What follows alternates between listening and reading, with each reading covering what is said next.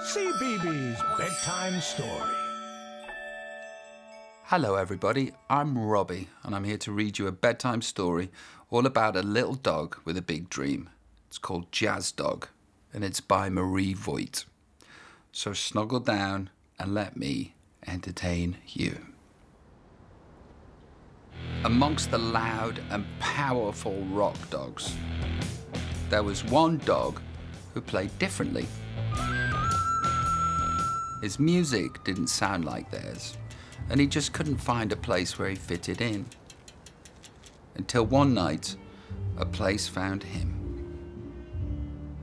The dog listened in awe to the beautiful sound of the jazz cats. He stayed all night long, then he made up his mind. I want to learn your sound, he said to the cat. But the cat pointed to a sign. Sorry, dogs out, he said when he slammed the door shut. Still, the dog was hooked on cat jazz. He didn't care about the funny stares as he tapped his paws to the beat. And he ignored the shock gasps as he borrowed cat instruments and cat music books. The dog practiced cat jazz all day and all night, even though everyone laughed and said, But dogs should play rock. He knew in his heart, though, that his music was right. And he dreamed of cats and dogs playing together someday. Then one night, he saw a sign a jazz contest at the theatre. It was his time to shine. A dog at our cat contest? Word soon got around. Now everyone went there, even the hounds. At the theatre, the atmosphere was tense. For the first time ever, cats and dogs were there together. The dogs barked at the cats. We don't like your cat jazz. And the cats hissed back, Well, you dogs should stick to rock.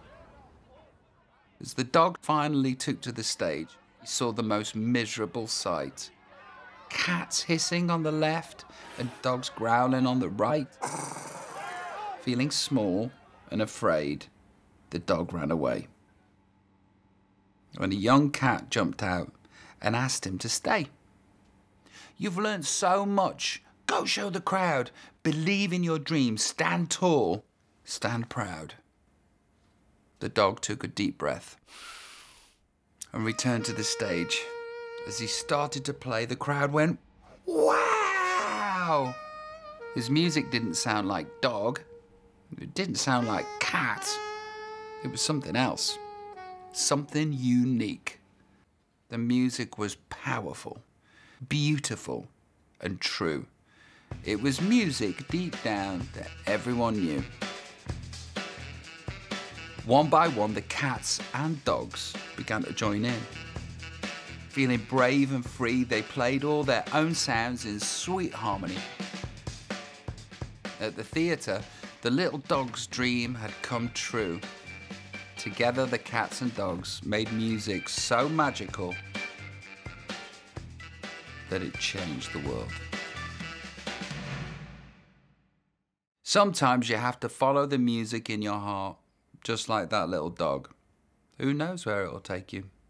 I'll be back again soon with another bedtime story, but for now, night.